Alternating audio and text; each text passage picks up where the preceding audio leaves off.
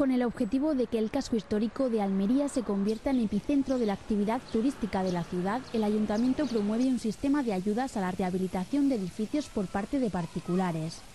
En la convocatoria de 2013, 49 inmuebles se beneficiarán de estas ayudas, que se dividen en tres líneas de actuación y cuyo ámbito preferente se centra en el casco histórico, especialmente los edificios situados desde la calle Real hacia Poniente.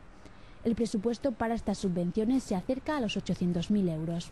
Eso es fruto de la ordenanza que aprobamos en el 2012 desde el consenso todas las administraciones intentando mejorar el método de la ayuda a la rehabilitación municipal y ahora también hemos acordado sacar ya la del 2014 por importe de un millón de euros centrándonos fundamentalmente en lo que es la actuación en el casco histórico. ¿no?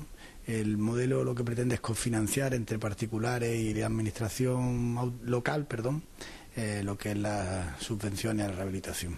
El Consejo de Gerencia de Urbanismo también ha aprobado la convocatoria para este 2014. El periodo de presentación de solicitudes estará abierto en el plazo de un mes y medio y contará con un presupuesto de un millón de euros.